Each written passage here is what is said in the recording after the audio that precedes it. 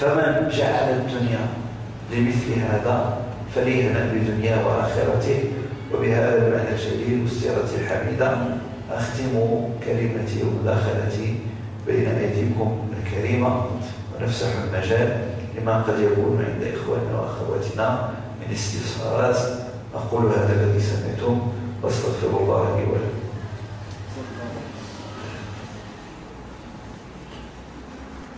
شيخنا وردت بعض الأسئلة. مرحبا.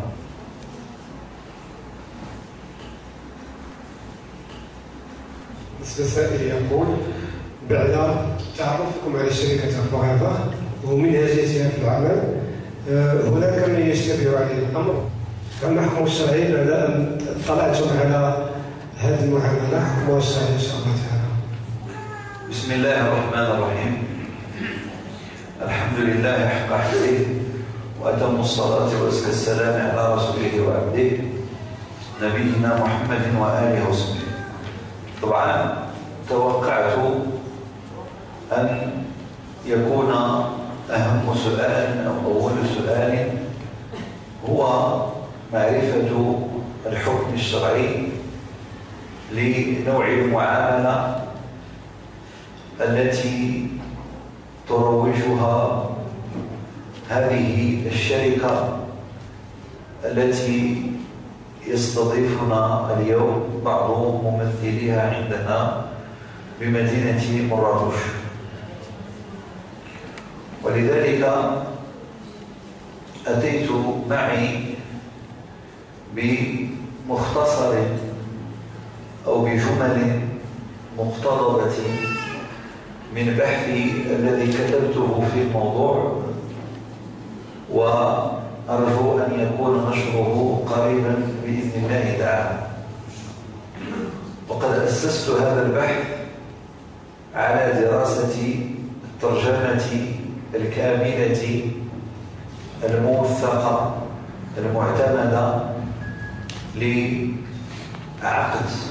هذه الشركة وأيضا استفسار يعني أخوين من الإخوة الممثلين لهذه الشركة وهما السيد مهدي كوار والسيد صدوق كريم.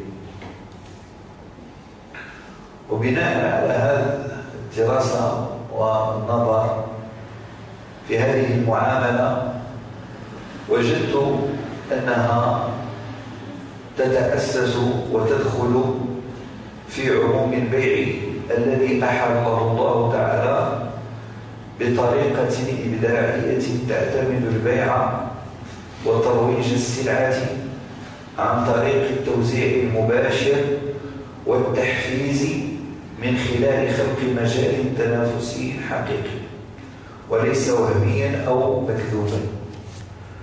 والله تعالى أحل البيع كما قال سبحانه وأحل الله البيع. وقال سبحانه ليس عليكم جناح أن تبتغوا فضلا من ربكم. وقال النبي صلى الله عليه وسلم أنتم أعلم بأمور دنياكم. وتوصلت في هذا البحث إلى أن هذا التسويق داخل في قاعدة الأصل في المعاملات الإباحة.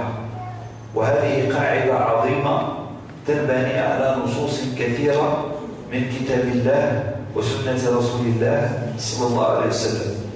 منها ما أخرجه مسلم في صحيحه في قصة تدبير النخل وفيه قال النبي صلى الله عليه وسلم أنتم أعلم بأمر دنياكم أنتم أعلم بأمر دنياكم.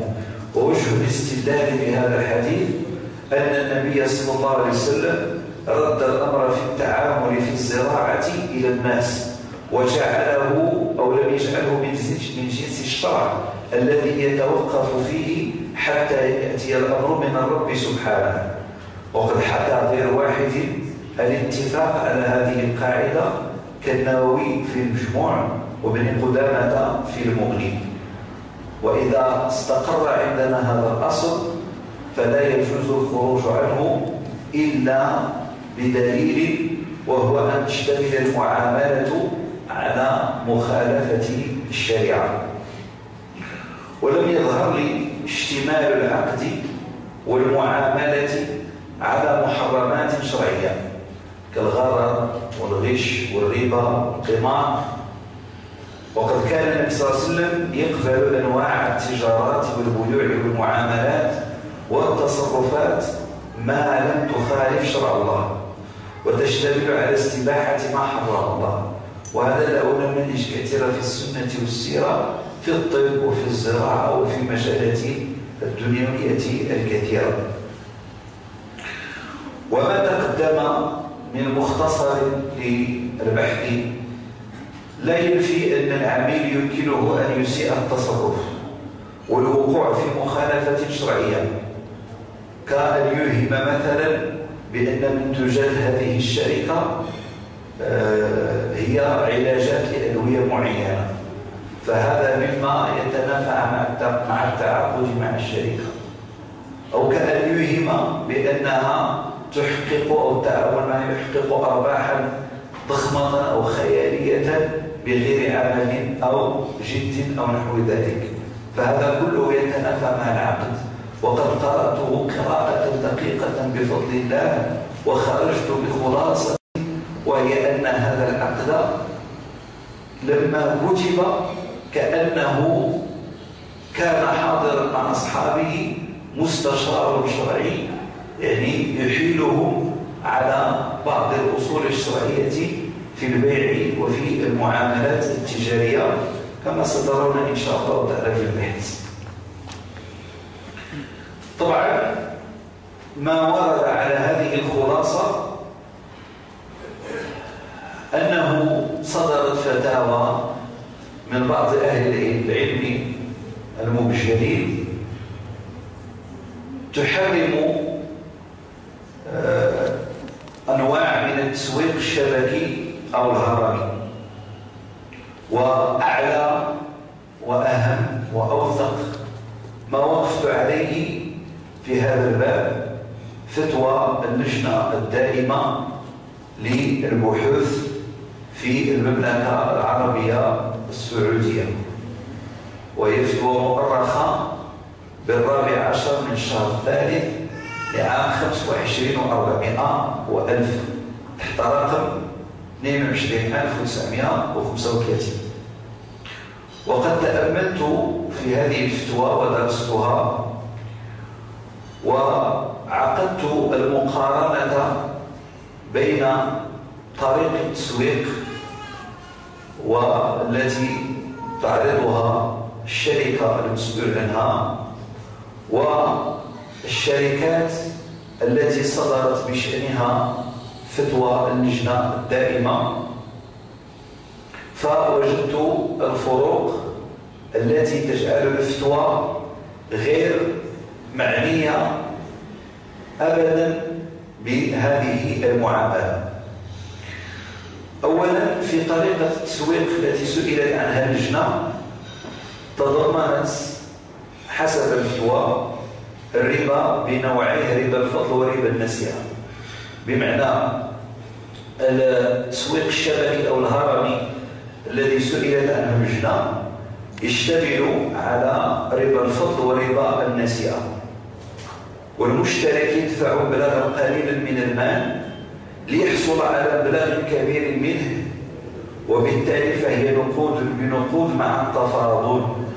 والمنتج الذي تبيعه الشركة للعميل إنما هو صفر للمبادلة فهو منتوج وهمي. ويفضي الأمر ويرجع إلى أنه مال بمال. وهذا هو الربا لأنه مال بمال مع التفاضل والتخير وهذا الربا بنوعه المحرم إجماعا. لكن فيما استعرضنا مما ذكرنا وفيما كتبنا من البحث بينا أن المنتوج في هذه الشركة مقصود ومؤثر وثابت الجودة وبرهنا على ذلك بمسالك آه، سيجدها من رجع إلى البحث إن شاء الله. إذا شبهة الربا منتفية. جملة وتفصيلا ثانيا في طريقة التسويق التي سئلت عنها اللجنة تضمنت حسب الفتوى الغرار المحرم شرعا لأسباب ثلاثة. لأن المشترك لا يدري هل ينجح في تحصيل العدد المطلوب من المشتركين أو لا. فهو يغامر وللفائدة المغامرة من صفة البيع الحلال لكن ينبغي أن لا يغلب على الظن المخاطرة. مخاطرة موجودة. وإذا انتفت قد تنتفي صفة البيع عن المعاملة. لكن إذا غلب على الظن يعني عدم تحصيل المطلوب فإن المغامرة تنقلب إلى مقامرة. وهذا هو القمار المحرم. فهذا السبب الأول لجعل المعاملة من الغرام ومتضمنة للقمار.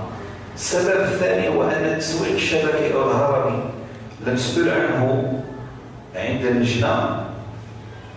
مهما استمر فإنه لا بد أن يصل إلى نهاية يتوقف عندها. ولا يدري المشترك حين انضمامه إلى الهرم هل سيكون في الطبقات العليا منه فيكون رابحا؟ أو في الطبقات الدنيا فيكون خاسرا الثالث أن الواقع أن معظم أعضاء الهرم خاسرون إلا القلة القليلة في أعلاه هذا هو الغالب فالغالب هو الخسارة وهذه حقيقة الغرض وحقيقة القمار أن تخاطر أو تغامر في تجارة الغالب فيها هو الخسارة. هو القمار هو الغرض. وتعرف أيضا بأنها التردد بين أمرين خوفهما أغلبهما خوفهما أغلبهما. والنبي عليه الصلاة والسلام نهى عن الغرض كما في صحيح مسلم وإذا أفضى إلى القمار فتعلمون النصوص فيه. أما في الشركة محل البحث فأول ما نجد عند المقارنة أن الربح يمكن أن يكون عن طريق بيع المنتجات دون دخول موزع مجرد بيع المنتج يحقق ربحا ولذلك ليس الربح مرهونا بتحصيل عدد مطلوب من المشتركين أو عددهم الأمر الثاني هو أن الشركة تمارس عملها لأكثر من 30 سنة وقد ظهر من هذه التجربة والممارسة العملية طيلة هذه المدة أن العمل هو أو المعاملة هي أقرب إلى التجارة التي تعني المخاطرة فيما يغلب الظن فيه الربح إلى كونها قريبة من المغامرة التي يكون الغلب فيها الخسارة وهو الغرر والقمار. ثالثا في الشركة قد يوجد في الطبقة الدنيا من يربح أكثر منه ممن هو في الأعلى إذا كان أكثر منه عملا وبذلا وهذا يدل على أن العلة هي العمل وبذل الجهد وليست العلة هي الهرمية أو الشبكية. وإذا بطلت هذه العلة بطل الحكم الذي بني عليها لأن الحكم يدور مع علته. وبهذا يظهر واضحا أن المعاملة خالية من الغرض وخالية من القمار ثالثا في طريقة التسويق التي سئلت عنها اللجنة تضمنت حسب الفتوى أكل الشركات أموال الناس بالباطل حيث لا يستفيد من هذا العقد إلا الشركة ومن ترغب إعطاءه من المشتركين بقصد خدع الآخرين. بمعنى أن الشركة إنما تعطي من تريد بقصد أن تخدع الآخرين وتبين لهم بأن الربح محقق وليس الأمر كذلك وهذا معروف تحريمه في الشرع وحكم أكل أموال الناس بالباطل. قلت هذا القصد غائب في الشركة المسؤول عنها بدليل جودة السلعة. وهذا الاحتكار والمحسوبية غير موجودان في معاملاتها بل عظم الاستفادة رهيبا بالجدية في العمل وبذل الجهد وتكون استفادة المتعامل بقدر ما بذل من عمل وجهد في ذلك أيضا في طريقة التسويق التي سئلت عنها اللجنة تضمنت حسب الفتوى الغش والتدليس والتلبيس على الناس من جهة إغرائهم بالعمولات الكبيرة التي لا تتحقق غالبا وهذا من الغش والخداع المحرمين شرعا. وقد قال النبي صلى الله عليه وسلم من غش فليس مني كما صحيح مسلم. وقال البيعان بالخيار ما لم يفترقا. فإن صدقا وبينا بورك لهما في بيعهما وإن كذبا وكتما محقت بركة بيعهما متفق عليه. قلت وقد رأينا من خلال عقد الشركة والعرض الذي قدمه ممثليها المذكورين وضوحا كاملا وتبيينا شاملا وتخييرا حسنا وغياب أي تدليس أو تدليس. يعني استعراض العقد العقد واضح جدا. والعرض الذي يقدمه الممثل واضح لا غبار عليه وقد قرأنا عقودا كثيرة لعدد من المعاملات فوجدنا فيها من التلبيس ومن التزوير ومن الكذب ومن ادعاء ما لا يوجد. الشيء الكثير هذا ونقول الله تعالى أجل وأعلم وإليه المنتهى سبحانه وتعالى. فإن أصلنا فمن الله تعالى وتوفيقه وإن أخطأنا فنستغفر الله ونتوب إليه. وحسبنا أننا بذلنا جهدنا وحرصنا على أن نتوخى لأنفسنا ولإخواننا. ما يرضي الله عنا بتطلب العبودية أولا وبفتح أبواب الاسترزاق الحلال ثانيا وعدم التضييق على الناس في معاشاتهم وإحالتهم على البطالة والتسول ونحو ذلك مما يضر والحمد لله أولا وآخرا شيخنا كان يبدو أن غاية الاستراحة تتعلق بمعاملة مع الشركة. آه، سؤال آخر. ما حكم الموزعين الذين يتلاعبون في تكملة المنتوجات ديال الشركة إما بزيادة أو بنقصان؟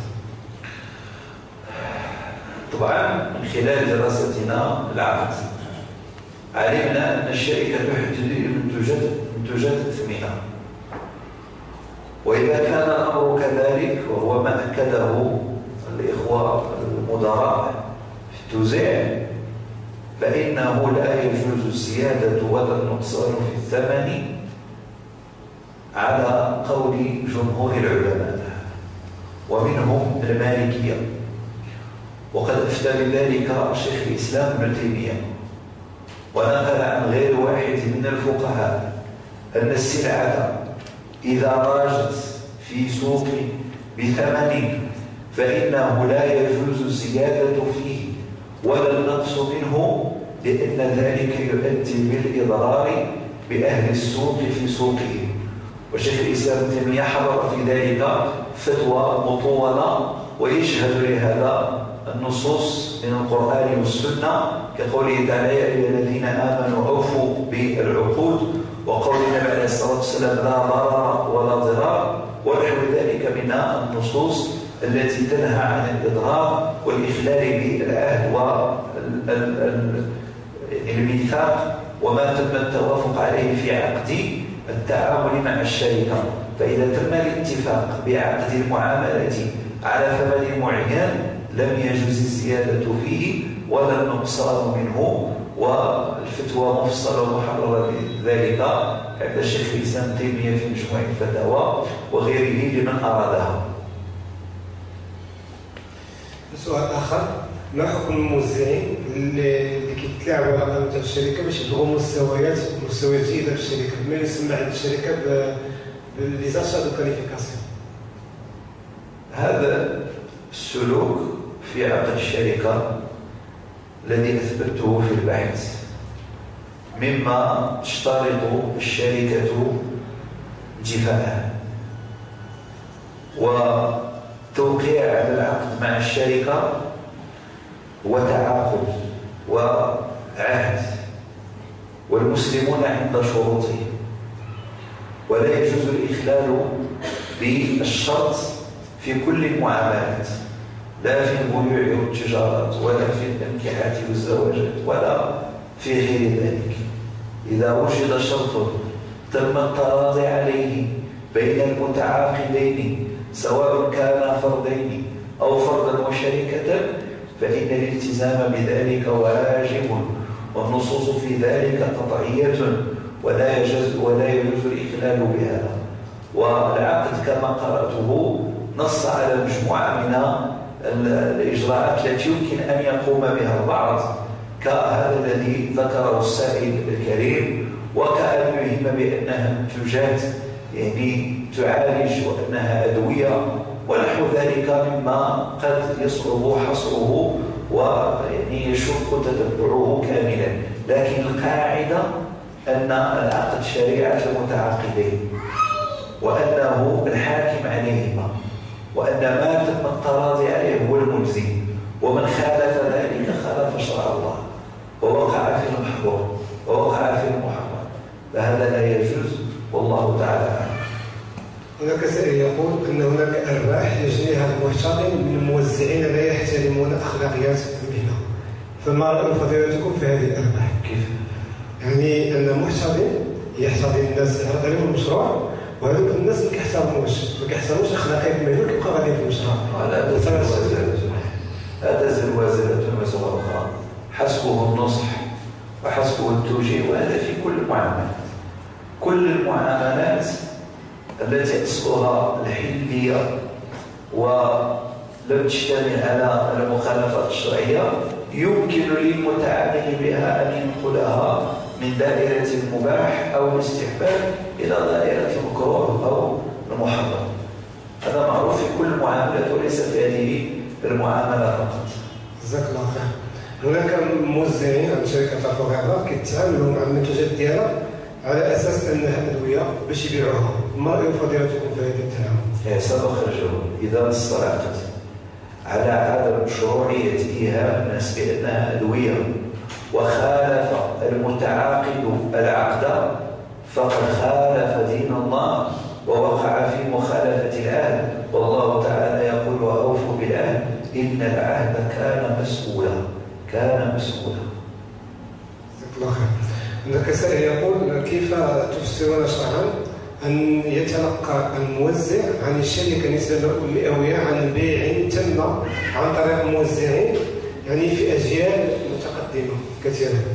هذا نوع من التحفيز ونوع من التشجيع ونوع من المنافسة التي لا نجد في دين الله ما يحرمها أو ينهى عنها يعني تطلب الربح وتطلب النجاح في البيع.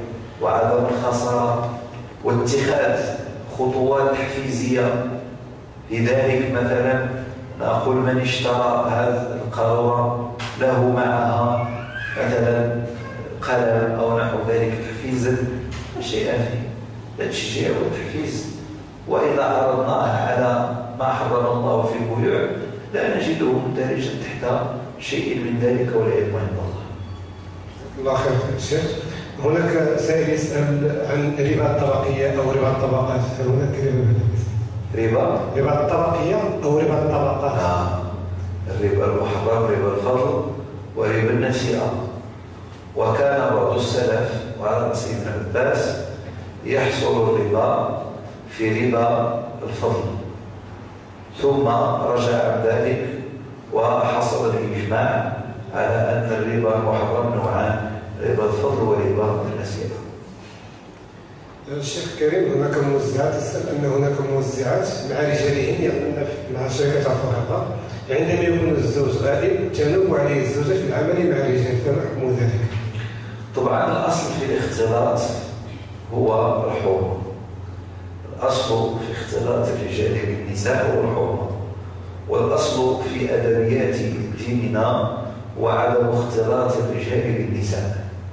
ومعنى الاختلاط هو وجودهما في مكان واحد بحيث يؤدي ذلك إلى مخالفة الأحكام الشرعية من غض البصر وترك المصافحة وفتح باب يعني التأثير السلبي.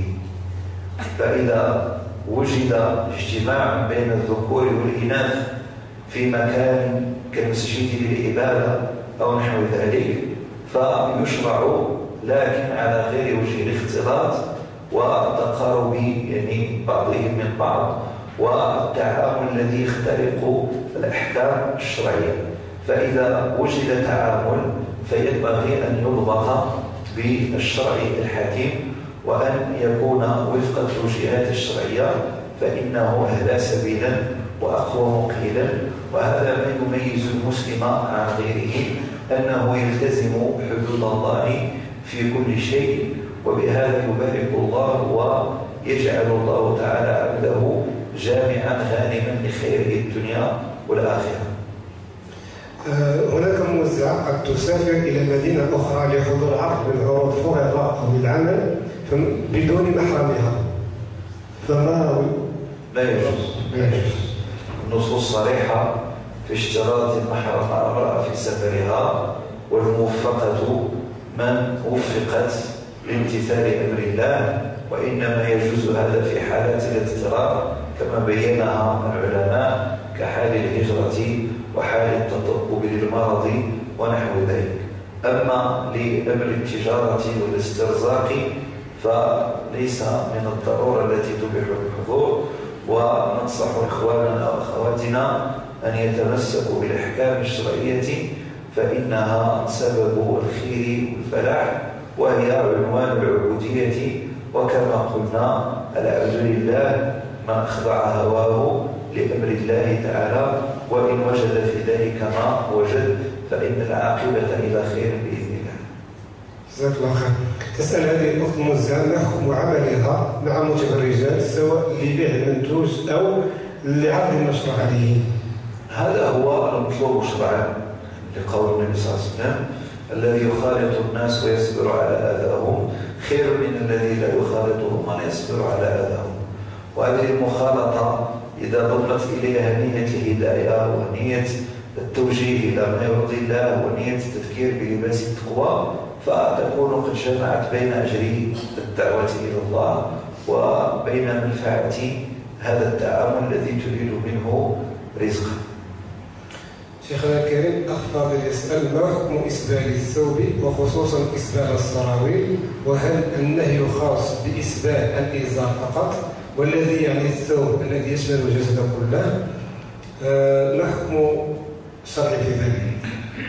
الأصل في الإسبال هو النهي وهو ثابت عن النبي صلى الله عليه وسلم بأحاديث كثيرة والأحوط للمسلم أن يتفاداه في الأثواب كلها لأنه الأحوط من أهل العلم من يفتي بعدم دخول السراويل في ذلك. لكن الأحوط والأسلم وهو أمر يسير غير متأثر ولا فيه مشقة أن يتفادى المسلم المسلم الإسلام في ثوبه.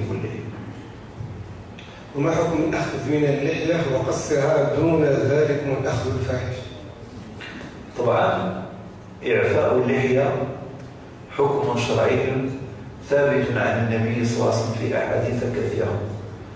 والأخذ منها داخل في الإعفاء بحدود معروفة عند جماهير العلماء من المالكية والحنابلة والحنفية بما زاد على القبضة وبما شد وتطاير من الشعر فيجوز أخذه ويجوز إزالته. وما سوى ذلك فلا يجوز ولا ينبغي. هذا هو الأصل يقول أخ موزع أن أثناء مزاولته لهذا المشروع يحصل أنه قد يعرض المشروع على على نساء أجانب في أماكن عامة. كمقهى مثلا هل هذا يدخل في الخلوة في الخلوة الشرعية المحرمة؟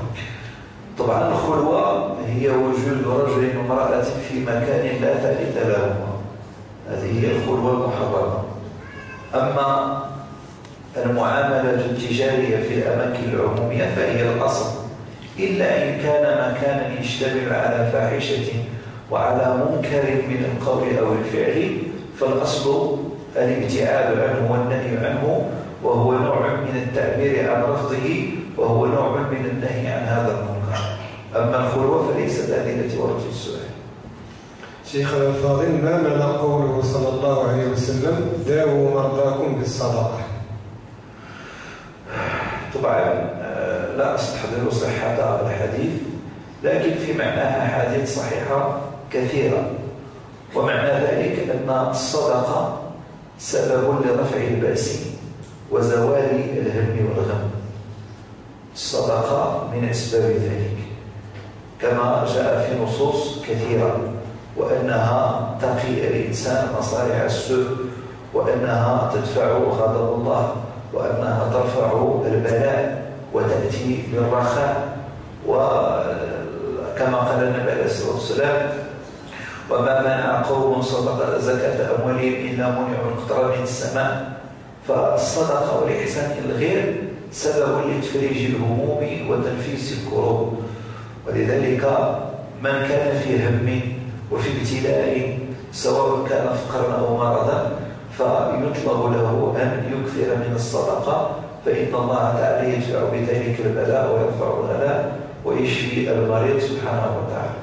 نسيت شيخنا أقول لكم أن السائل كتب لكم أنه يحبكم في الله. أحبه الله الذي أحبنا فيه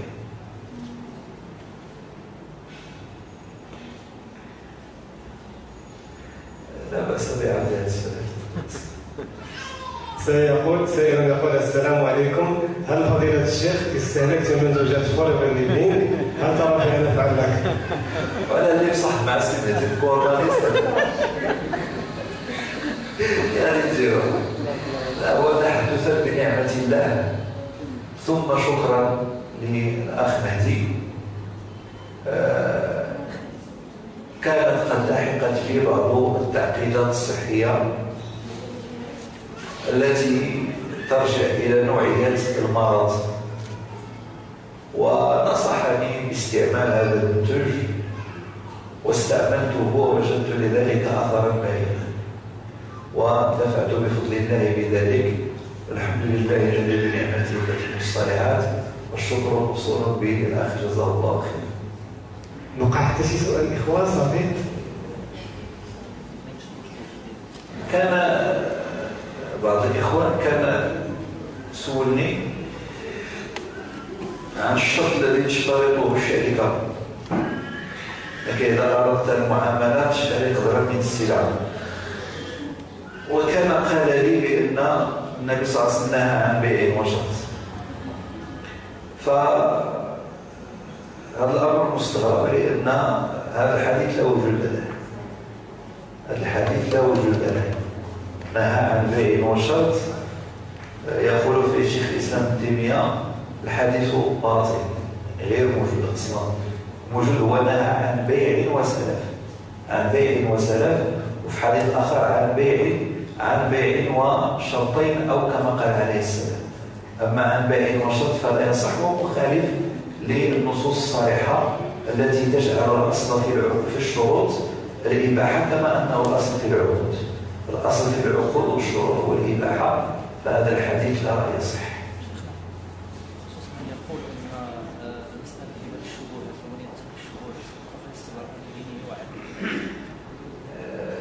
الشبهات في أين؟ تعامل الفتوى يقول إن هذا من باب الشبهات قال بعض العلماء بتحريمها وقال بعض العلماء باباحتها فنستبرئ لدينا لا هو من كان عنده من باب الشبهات. لا يمكن أن يجعل ما يراه هو هو حقيقة الأمر. لأن المسلم يطلب منه أن يطلب حكم الله وأن يعرف ما أحب الله وما حرم الله هو الأصل. من اشتبع عليه الأمر واتخذ موقفا يخصه لا يمكن أن نلزمه بغير ذلك. أما أن يجعل هذا الحكم أو أن يجعل واقع الشيء أو حقيقته شبهة فهذا هذا لا ينطبق عليه. وصف الشبهة كما عرفها العلماء. والله تعالى أعلم.